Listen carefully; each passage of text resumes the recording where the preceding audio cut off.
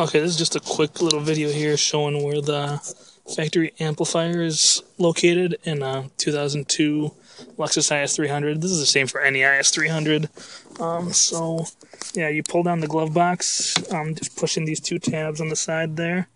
And then the amp on my car, it's been removed previously by the previous owner. But you'll see the remnants of the plugs here.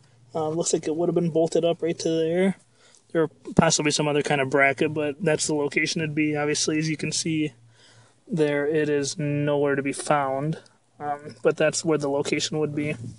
So if you were bypassing it, this here is the plug that has all the speaker wires for the front speakers, tweeters, and the rear 6x9s. Um, somebody some moron apparently at some point got T-taps onto there, which I, that's not something you should ever be using in car audio. So, I mean, mine's bypassed with wire straight going to it with an aftermarket four-channel amp, um, so I don't have to worry about the, the factory wiring. But that's not how, you, how you're supposed to do things. They actually make a um, a bypass harness for this that plugs in right here and then pl- runs right over to the deck here.